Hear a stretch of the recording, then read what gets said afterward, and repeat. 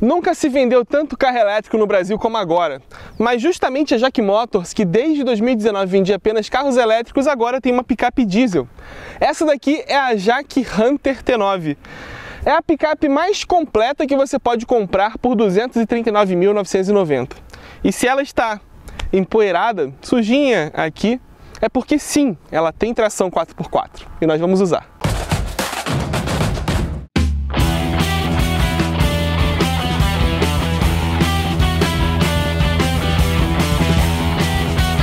Essa é uma das poucas picapes médias com teto solar no Brasil.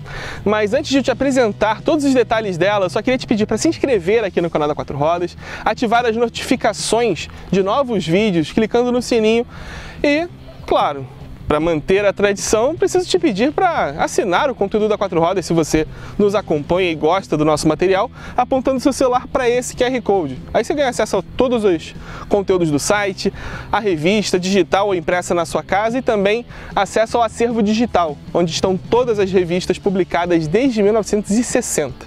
Tudo, tudo sobre picape, SUV, carro chinês. Sim, é curioso a marca ter passado cinco anos vendendo só carro elétrico e agora voltar para um carro a combustão. Inclusive, seu carro mais vendido é o EJS1, que de janeiro a setembro teve quase mil unidades vendidas. Por cinco unidades não chegou a essa marca. É um número bom, ele nunca vendeu tão bem, mas ainda assim, conversando com o Sérgio Abib, que é o responsável pela Jaque no Brasil, ele acredita que o mercado de carros elétricos vai estagnar no patamar de 2024 por conta da volta do imposto de importação, principalmente as, as próximas etapas que começam na metade de 2025 e 2026. Por quê? Com a volta dos 35% de imposto, por mais que os chineses é, banquem isso, absorvam uma boa parcela desse imposto, os carros elétricos ainda vão ficar mais caros do que estão hoje eles tiveram esse momento de preço interessante e muito próximo do carro a combustão, mas isso é temporário. Além do mais, existe a BYD com um estoque muito grande de carros que foram importados com preço no imposto anterior ao último aumento, praticamente pagando 10% de imposto de importação. Então criou-se uma situação que não favorece o carro elétrico. E a Jaque viu que na verdade agora ela tinha um produto bom nas mãos, com um preço competitivo e em um segmento, o de picapes médias, que é um segmento que ainda cresce no Brasil e é um segmento grande. Na verdade, hoje até maior do que o de carro elétrico como um todo. E é bem mais fácil, provavelmente, você brigar apenas com picapes médias do que com elétricos de qualquer gênero. E logo a Jaque, que traz van, caminhão, caminhões grandes até, toco, elétricos para o Brasil. Então, na verdade, a opção de ter uma picape média diesel agora é pelo contexto, não pela vocação da marca ou pela, pela estratégia que eles haviam traçado no passado. Pelo estilo, esse carro representa uma reestilização daquela picape elétrica IEV 330P. Ela já tinha versão diesel, chegaram a trazer algumas inclusive para o Brasil, estão espalhadas por aí, mas o visual dela mudou bastante, tanto para a versão elétrica, que vai vir futuramente, daqui a uns seis meses pelo menos, quanto para a versão a diesel, que faz agora sua estreia comercial de fato. E aí tem um detalhe, antes de eu falar do design, tem um detalhe muito importante. Essa picape, por mais que ela seja diesel, as unidades que vêm para o Brasil aproveitam exatamente o chassi da versão elétrica. O chassi que foi reforçado e também teve mudanças nas longarinas para receber um pacote de baterias por baixo. A vantagem está justamente na robustez e no fato de esse chassi, por conta dos reforços, da suspensão que foi trabalhada, fazer com que esse, essa picape suporte até 1.400 kg, ou seja, a capacidade de carga dela é 40% maior do que a média do segmento, ou o dobro de uma Toro a gasolina ou de uma BYD Shark. Então, esse diferencial aqui vem, na verdade, de uma picape elétrica. E voltando ao design, agora ela parte para esse estilo de LEDs separados, assinatura de LED separada do bloco de faróis. Então, nós temos três níveis de iluminação aqui: LED, farol e farol de neblina. E aqui é full LED. Inclusive, deixa eu ver se a chave me permite mostrar isso aqui. LED sequencial para seta. Interessante, né? Uma picape de 230 mil reais.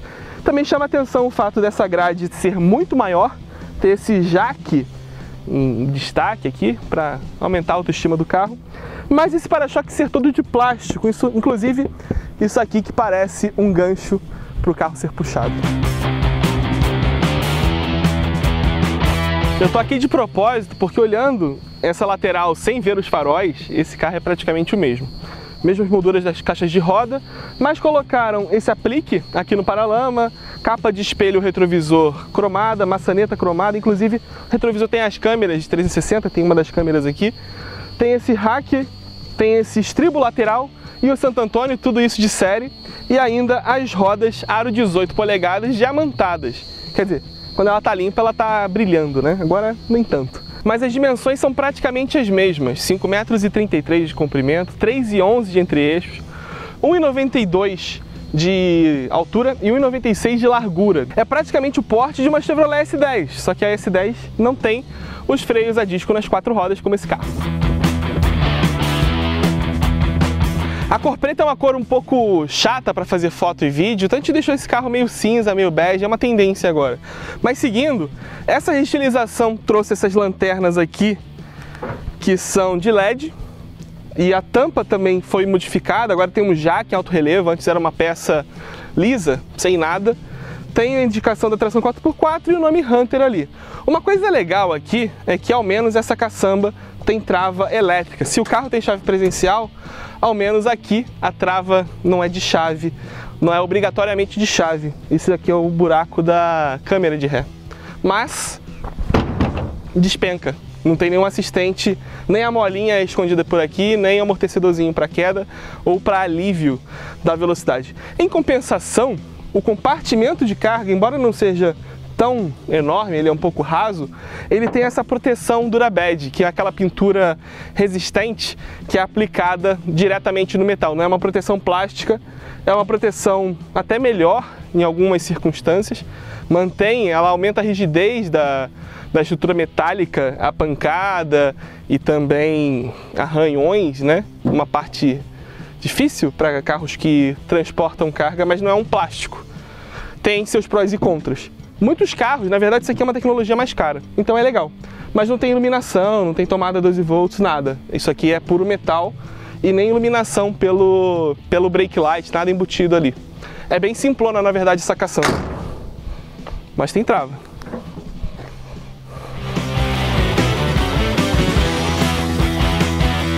Esse motor aqui ele dá um bom spoiler do que a gente vai ver lá dentro. Ó. Tem duas molas para sustentar o capô, tem manta, e se você reparar bem, essa capa do motor ela é de espuma. Ela também ajuda no isolamento acústico do carro. O que eu posso te dizer é que esse daqui é um motor 2.0 turbo diesel de 191 cavalos e 46 kgfm de torque. É um número interessante para um motor tão pequeno, ele está entregando a potência e quase o mesmo torque dos 2.3 2.4 dos da L200 e da Frontier. Mas esse motor até onde eu consegui saber, ele foi criado a partir de um projeto da Isuzu, da japonesa Isuzu.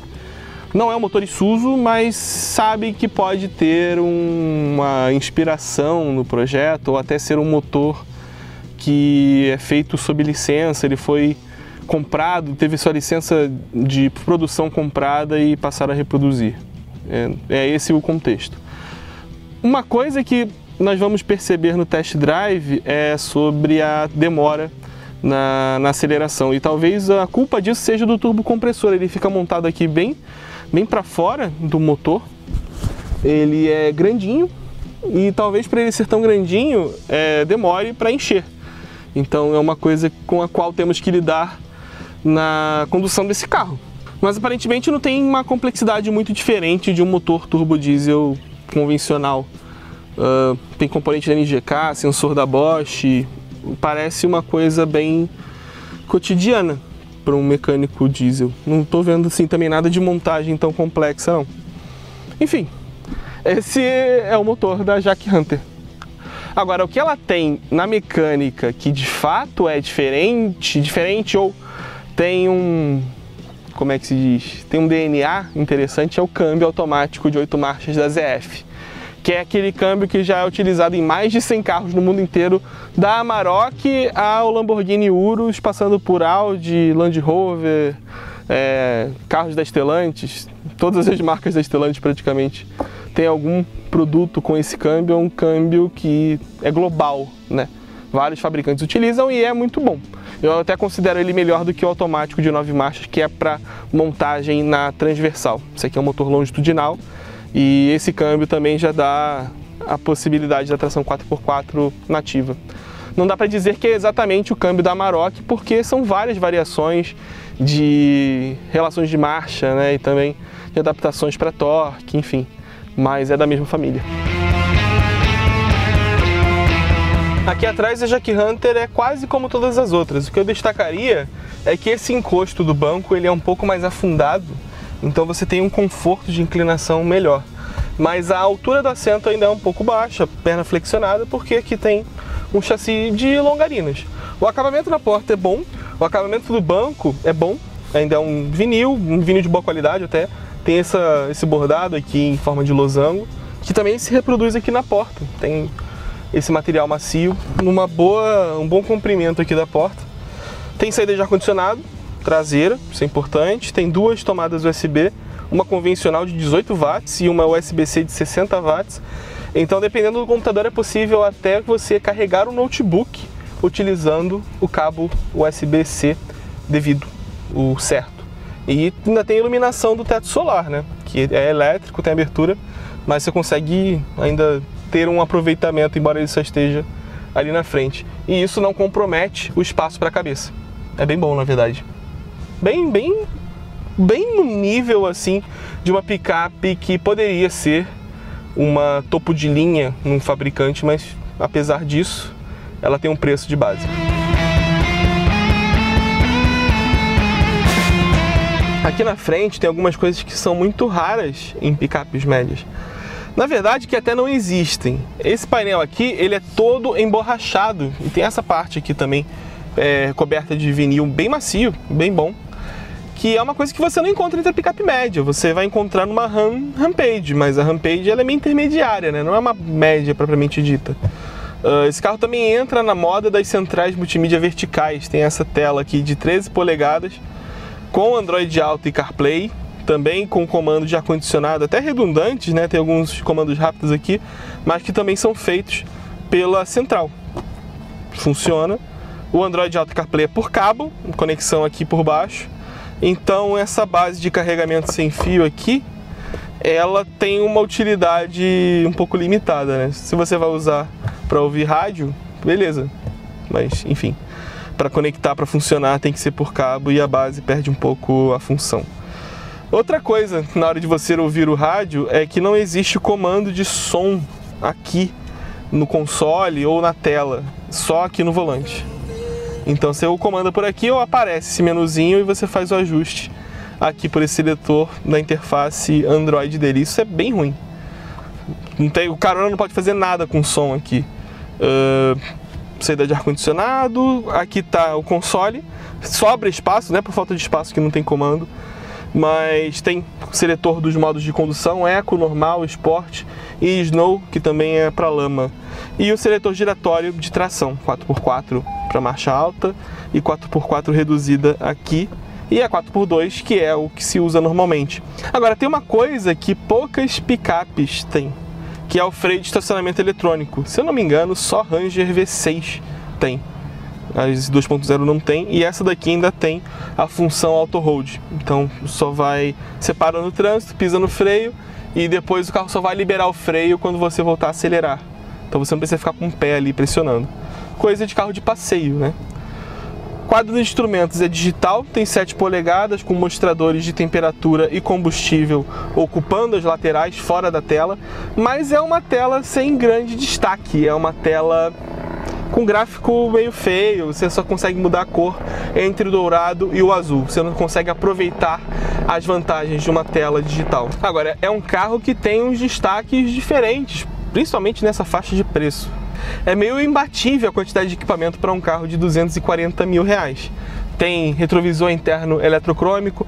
Esse porta-objetos aqui, ele tem uh, ventilação, ele gela com a, com a passagem do ar-condicionado por banco traseiro, então é meio refrigerado. Então tem coisas que você vai vendo, nossa, esse carro tem isso. O freio de estacionamento eletrônico, quadro de instrumento digital, teto solar, enfim. Tem quase tudo que uma picape média poderia ter, exceto assistentes de segurança eletrônicos. A segurança dele é freio ABS, controle de estabilidade e seis airbags não tem um ACC, não tem um monitor de ponto cego, uh, tem sim sensor dianteiro, sensor traseiro, câmera de ré, mas nada muito além disso. Não vai te corrigir na faixa, não vai te avisar em caso de uma colisão iminente, nem vai frear o carro para você. É isso. Aí também tem aquela coisa, ah, mas quem usa picape como picape não dá valor a isso. É verdade. Tanto que na Ranger, que te oferece esses sistemas, é como opcional. Então é uma adaptação, enfim. Mas você se surpreende quando você vê, nossa, picape da Jaque, minha lembrança era a EV 330p. Aqui é um mundo diferente, bem melhor. Pô, essa parte aqui do console é macia, é legal. Não dá pra, pra ignorar que esse carro é de fato interessante. Mas essa é a hora de andar e eu tenho muito a contar sobre o comportamento dinâmico desse carro e como eu já falei sobre o motor. Vamos lá! Bom, começar essa experiência de condução na estrada mesmo, porque afinal esse carro tem um câmbio automático de 8 marchas, então faz sentido esse uso dele na estrada para ver rotação. Nesse exato momento eu estou a 100 por hora, na oitava marcha a 1800 RPM. E o ruído que eu escuto é desses pneus largos, 265, 60, 18, mais do que um motor diesel. E mesmo se eu chamo ele no kickdown, continua bastante silencioso para um motor diesel ainda. Então é um conjuntinho interessante. Mas tem um ponto que eu só vou conseguir mostrar daqui a pouquinho.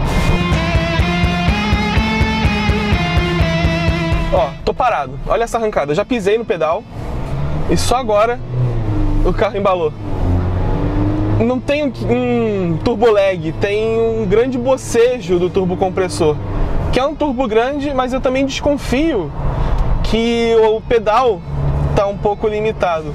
Esse carro já é já está na normativa do Procon VL8, então isso talvez tenha alguma relação, mas é muito estranho na arrancada. O carro não responde, uh, meio que como um Fox Emotion na hora que você quer dar uma arrancada ou um Sandero Easy R, todos dois, todos dois carros com câmbio automatizado de uma embreagem só. Mas, olha só, em termos de suspensão, esse carro vai muito bem. Ele rola pouco de carroceria no asfalto, né? Mas quando nós chegarmos na parte de terra, teremos algumas surpresinhas. Agora, o que é legal, ele tem essa, esse controle de suspensão bom, provavelmente, talvez, pelo chassi mais rígido, mais reforçado, que a Jaque definiu para o Brasil especificamente para carro, os carros que vêm para o Brasil. Nem é uma quantidade grande de carros, porque eles querem vender 4 mil por ano. Isso dá menos de 4% do segmento. E 333 unidades, dá uma dízima periódica quase. Então isso dá 333 unidades por mês e vai depender muito do empenho ou do oposto disso dos rivais para essa daqui não ser a picape média menos vendida do Brasil. É, mesmo com esse preço, mesmo com esses equipamentos. É, acho que se essa picape ela não fosse tão equipada seria mais difícil para ela.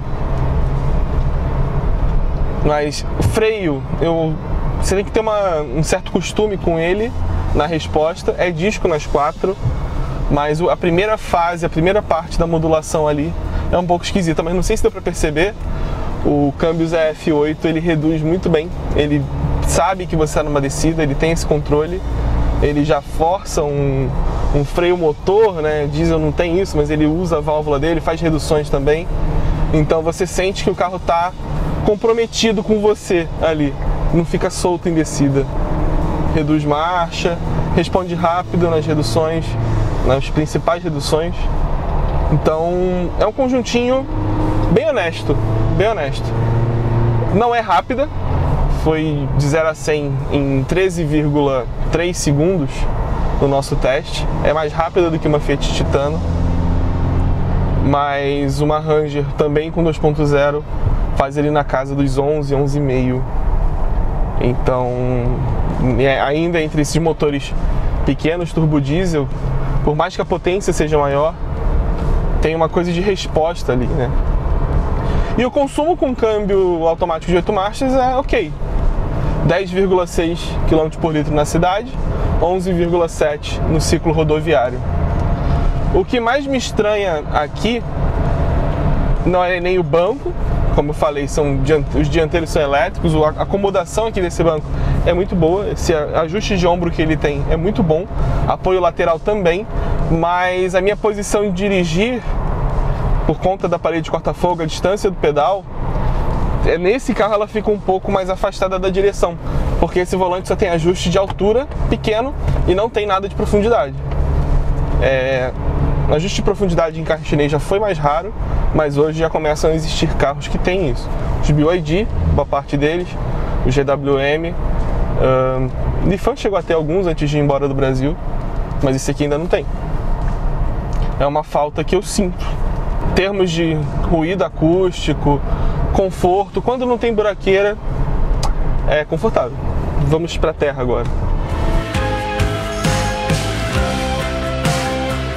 Peraí, vamos lá. Tração 4x4 High. Entrou. Particularidade que ele desliga o controle de estabilidade com a tração 4x4. Ele fala SC off e não controle de tração. Achei isso que curioso isso. E por mais que ela seja confortável o suficiente para não reclamar, aqui na Terra ela quica bastante. Me lembra a Ranger da geração passada, nas versões com motor 2.2, as primeiras, que tinham uma suspensão mais firme mesmo, porque era pensada para carga. E você liga os pontos. Pô, essa picape aqui é para mim 400 quilos. Então, algo tem a ver. O molejo ali do carro fica limitado. Então, pro off-road aqui, pro 4x4, não tá com lama, é só terra batida, ainda assim, na buraqueira fica saltitante. Mas ainda assim é mais confortável do que em algumas outras picapes médias. Ah, vibração. Vibração aumenta um pouco no volante aqui na, nessa, nessa linha uh, quando está na tração 4x4 em algumas movimentações de aceleração, combinação de aceleração e esterçamento da direção. É, acho que vale destacar isso porque com a tração 4x2 é diferente, tem muito menos vibração, até bem contido. O NVH desse carro é até baixo, motor menor também, né? Mas esse carro ele é mais interessante do que eu imaginava e me surpreendeu. A expectativa talvez não fosse grande, né? Então é um carro honesto, ainda mais pro que ele custa e pro que ele entrega, é uma opção sim, é um carro a ser considerado nessa faixa de preço das picapes médias mais básicas. Você não consegue comprar uma S10 básica nesse preço.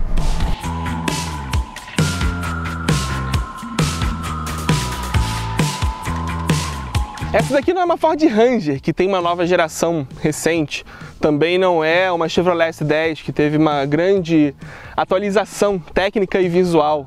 E também não é uma Fiat Titano, já que Hunter ela tem as qualidades dela, tem também os problemas dela, mas é um carro que, pelo menos nesse contato, pareceu robusto, pareceu ser um carro bom até de andar, direção boa, rápida, para o contexto de picape, dinâmica também boa, não é molenga demais, é talvez um pouco firme demais, mas tem a capacidade de carga e tem um conteúdo uh, atraente, no mínimo atraente. Então é um carro que ali, nessa projeção de 330 unidades, vai bem. Eu acho que o que pode ser o grande agente dificultador do sucesso dessa picape é a estratégia ousada da Jaque para vender seus carros a partir de agora. Ela só tem cinco concessionárias tradicionais no Brasil inteiro. Então, como vender 330 carros por mês nesse país enorme? Eles vão passar a usar oficinas especializadas em carros a diesel, não em elétricos, em carros a diesel, para ser um hub para distribuição desse carro. Como? O cliente interessado tem que entrar em contato com a Jaque, pedir um test drive, um delivery de test drive na casa dele. Então as picapes que estarão distribuídas nessas oficinas serão levadas até o cliente, ele poderá ter um test drive no seu cotidiano, no seu dia a dia, e aí sim negociar o carro. Então a oficina torna-se o hub desse carro, é onde ele vai ficar guardado para ser entregue para os deliveries de test drive, onde vai ser feita a entrega técnica do carro comprado e onde vai ser feita a manutenção. São locais especializados em carros a diesel. Acho que a mecânica desse carro também não é tão complexa assim para se preocupar tanto. Uh, eu vejo de outra forma. Tudo bem, a ramificação de concessionárias é importante para você vender muitas picapes no Brasil, para você ser líder de venda, você precisa estar em grandes centros regionais, é assim que funciona com Hilux, é assim que funciona com Ranger e S10. Mas para essa quantidade que a Jaque projeta, seria muito caro ter concessionárias no interior do Brasil, em todos os estados. Seria difícil até ter em todas as capitais, como a Jaque já não tem há alguns anos. Então, talvez até a oficina seja um lugar para para fazer as pessoas conhecerem uma Jaque. O cara chega ali com uma picape diesel mais antiga, dando problema, ou já está tentando resolver um problema crônico há algum tempo e vê que existe uma picape completa por 240 mil reais. E aí, com a confiança que ele tem no mecânico, falando, não, pode comprar, é fácil de mexer, a gente resolve por aqui, talvez o negócio seja fechado. Acho que é o, a questão é enxergar o copo meio cheio. Mas é diferente, é diferente, se vai dar certo, só o tempo dirá. Mas se der certo isso, também será um novo meio de vender carro a ser considerado no futuro. E é isso. Cada um se vira como pode. E como você sabe, aqui na Quatro Rodas se faz jornalismo até com carros que podem nos impressionar, principalmente pelo preço e pelo conteúdo.